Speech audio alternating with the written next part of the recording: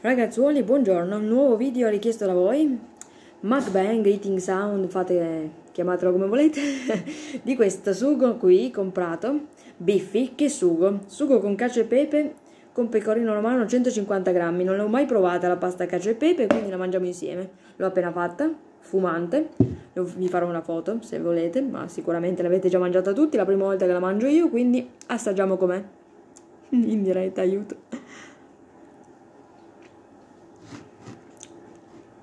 Sa di gorgonzola. È possibile?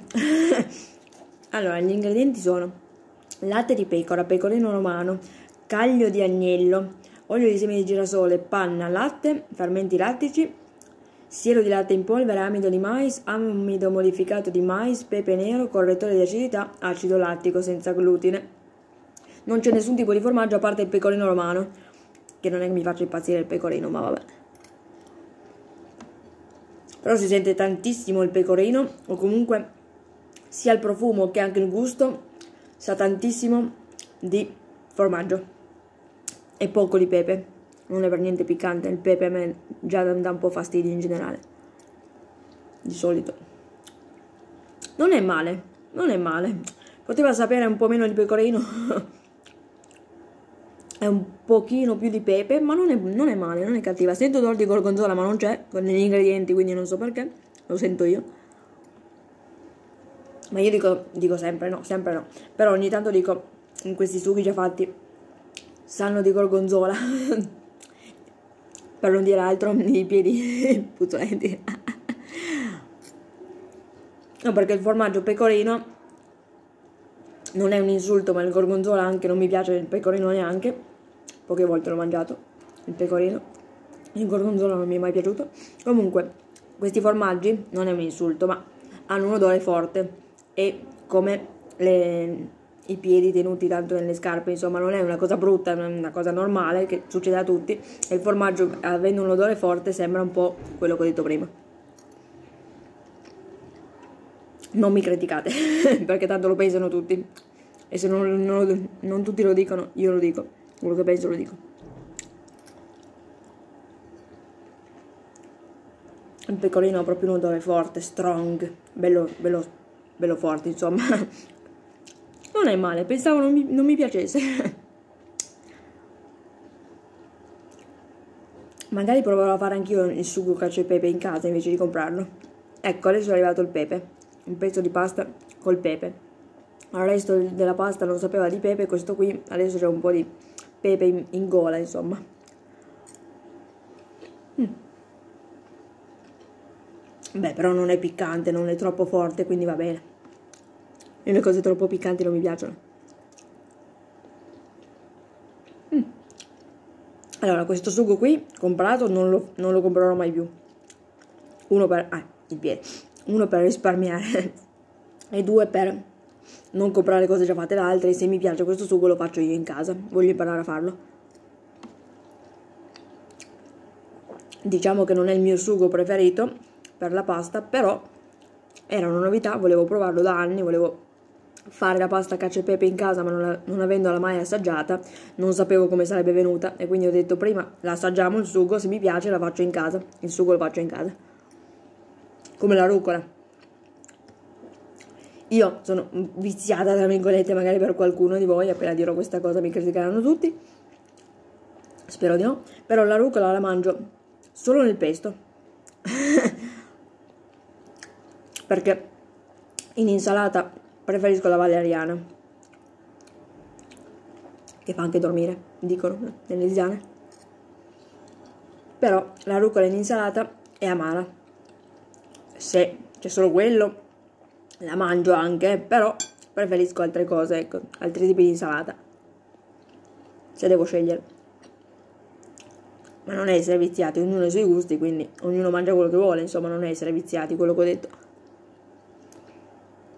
Però, anche lì, noto delle differenze, nel senso, quando ero piccola la rucola non volevo neanche vederla in cartolina, neanche comprarla per carità, e adesso faccio sacchetti e sacchetti e sacchetti di rucola per fare il pesto appunto per la pasta.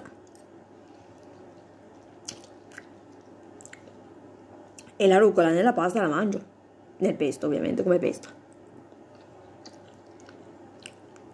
quindi de gustibus nella vita si, cambia, si cambiano i gusti.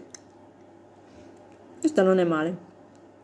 È già diventata fredda perché io parlo invece di mangiare però non è male pensavo sapesse eh sa anche di panna sì sicuramente perché c'è la panna. Però sa tanto di formaggio. Provatelo questo sugo se non volete farlo in casa se non l'avete mai provato. È un po' piccantino ma ogni tanto si sente l'odore, sì, il gusto di piccante del pepe e ogni tanto non si sente. Va bene così.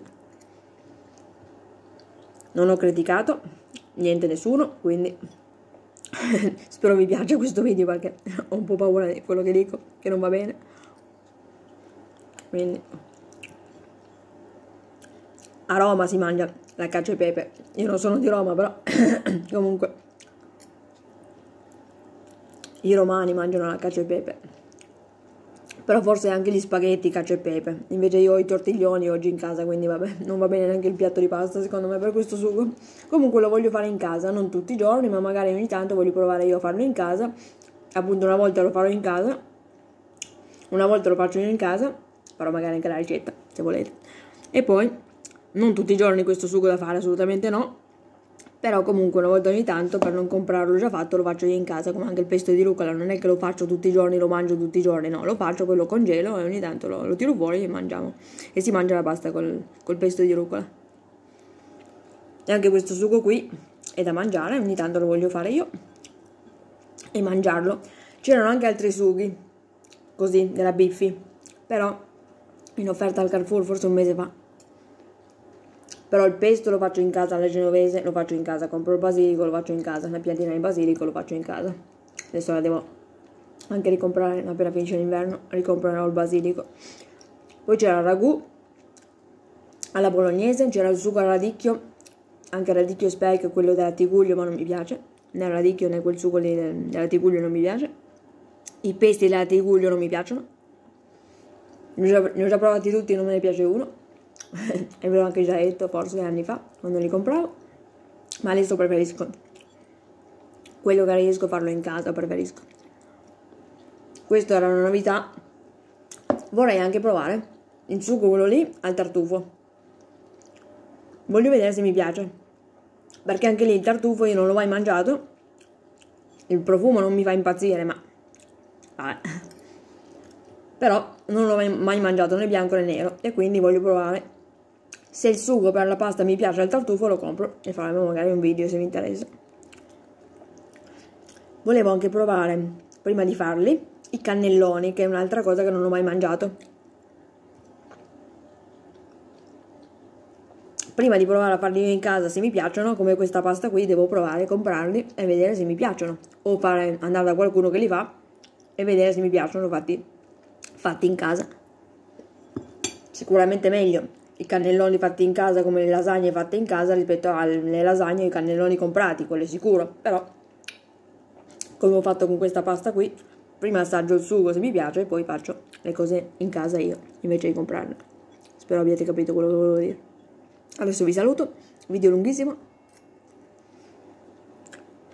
Comunque è chiara, la pasta forse tipo di pasta sbagliato, comunque bianca, con dei pezzettini piccoli di pepe e va bene così, non è troppo piccante per me, quindi va bene. Ve la consiglio. Ve lo consiglio come sugo. Se lo fate in casa ancora meglio. A presto ragazzi.